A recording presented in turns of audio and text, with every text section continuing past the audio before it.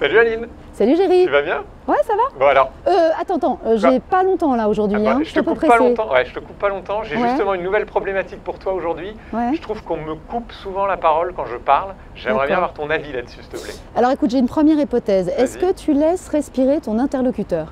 Tu veux dire quoi par là? Bah, euh, C'est une histoire de cercle vicieux. Euh, tu as peur d'être interrompu, euh, donc tu parles vite, tu fais des phrases à rallonge, t'enchaînes tes idées sans pause.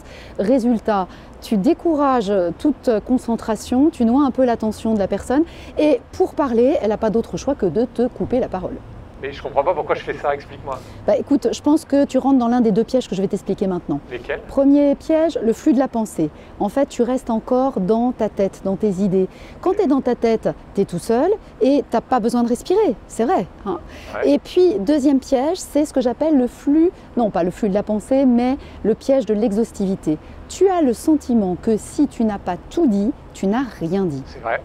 Alors, Je veux en dire trop. Quoi. Voilà, un peu. Alors, sors de ta tête et puis rentre en présence d'abord de la relation. Parce qu'un échange, ça se fait à deux, Géry, je te le rappelle. T'as raison. Et alors, quel conseil tu peux me donner Bon, alors, vite fait, deux conseils. Premier conseil, apprends à commencer et à terminer. 5-6 mots euh, entre deux respirations, ça suffit amplement. Et puis, signale à ton interlocuteur que tu ne vas pas monopoliser la parole. Comment tu fais? Bah, Tu lui rends la parole régulièrement. Il t'en sera gré parce qu'il va plus te couper la parole. Et puis, deuxième petit conseil, eh bien, apprends à être ami avec le silence. Prends le temps de poser tes mots.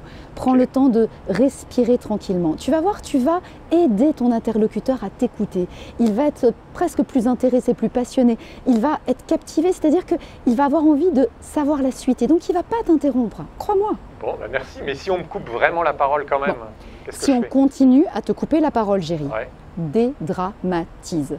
Tu attends juste que la personne ait terminé de parler et puis tu reprends la parole tranquillement. Gentiment, tu dis que tu aimerais bien terminer ce que tu as à dire et puis voilà. Et puis quand euh, on ne fait pas un drame d'être interrompu, euh, quoi, allez, l'interruption c'est juste un épiphénomène dans le courant de la conversation, non?